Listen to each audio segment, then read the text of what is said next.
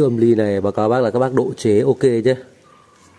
À, độ trên ô tô được mà trên xe máy cũng được mà độ ở đâu cũng được. Mà lắp tất cả các thiết bị đặc biệt là nó có hai cầu loa và một cầu loa súp. À, clip sau em Tuấn sẽ lồng cả một con loa loa súp vào đây cho bác đánh súp. Nhỉ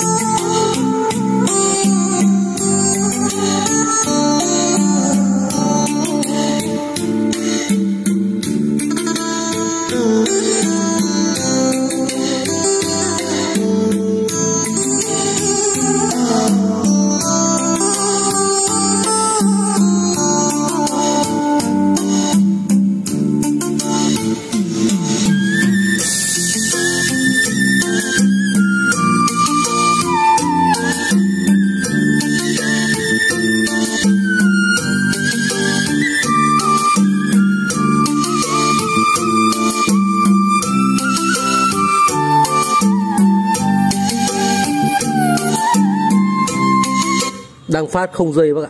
Con này phát không dây bluetooth và có cả cổng aux phía sau đây. Em vào đây. Em vào đây ạ. Em nó các nhìn nhá. À, hiện tại là em nó có đây các nhìn này.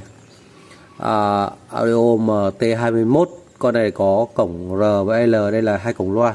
À, cổng s đây là cổng súp súp trầm. Thì buổi chiều nay em Tuấn sẽ đấu súp trầm cho bác. Con này chạy điện được giải từ 12V đến 24V và dưới 9A dưới 9A đấy đây nó ghi súp phơ bên này được chưa à, con này à, lên lấy công suất mắc là 50 cộng 50W đây 50W cộng 2 nhân 2 bằng 100W đấy là đối với loa còn súp một cổng riêng.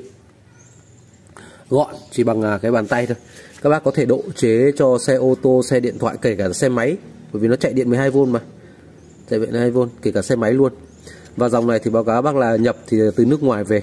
Nhập từ nước ngoài về đa số là về phải lắp ráp ở mức giá là 299k một chiếc này. 299 ngàn một chiếc này các bác có thể độ chế thoải mái nhé bác nhé à, bác nhìn một đôi loa tay noi. Đây con tay noi này phê cho bác.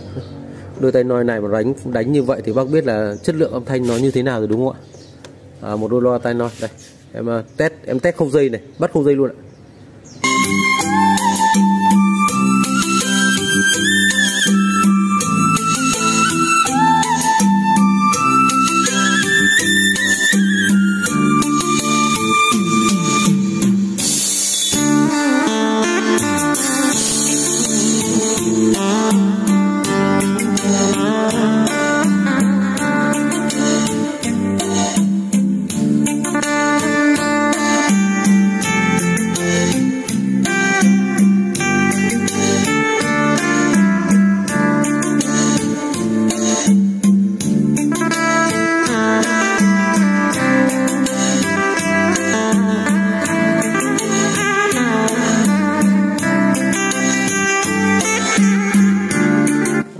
Loa tay nói này giá 2 triệu 9 ạ. Đây à, để thành một cái sản phẩm như thế này nhé.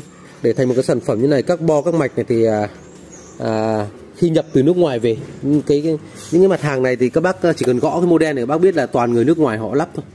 À, MT21 thì toàn người nước ngoài họ lắp nhé. Họ lắp ráp họ độ chế. Cái dòng này là ở nước ngoài nhiều. Đấy độ chế. Thì đây để thành một sản phẩm như này thì khi nhập về nó là như thế này bác ạ. Nó như thế này. Đấy mà có khi đến với các bác thì chắc chắn là em Tuấn phải lắp. Em Tuấn lắp sẵn cho các bác. Để các bác đây khi về đấy cái thành phẩm của nó là như thế này. Đấy. Và đây bác nhìn bo mạch của em nó đấy. Bo mạch của em nó đây. Đúng rồi, càng ngày công nghệ nó càng cao vào cả.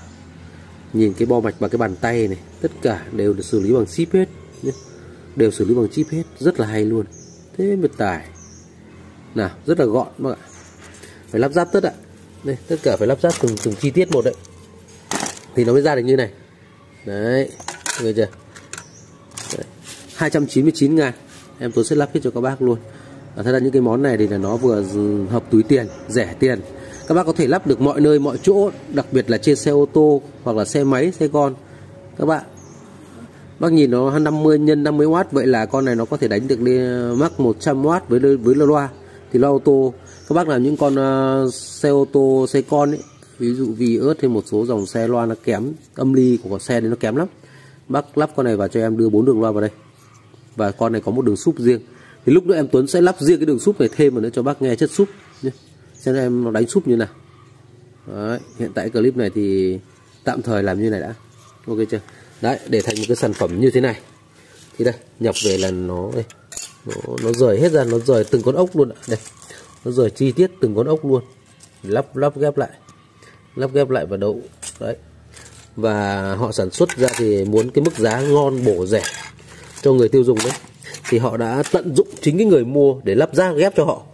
Vậy là như thế này là họ đã bỏ đi được một nhân công là lắp ráp, đúng không bác?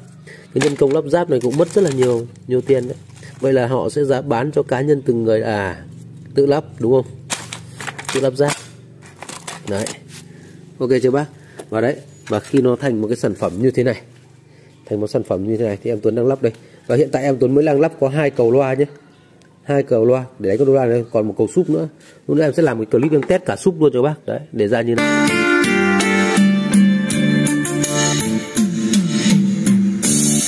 Còn nguồn điện thì nó dùng điện từ 12V đến 24V thì hiện tại em Tuấn đang cắm cái nguồn của con máy tính. Đây, em dùng luôn cái nguồn của con máy tính đây nó nhìn nhé nguồn con máy tính.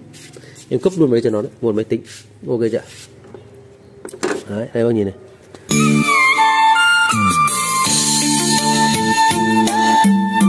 Tắt ở đây luôn. Tắt ở đây luôn. Volume to nhỏ tổng đây, của nhạc còn đây là của súp volume to nhỏ của súp bên này.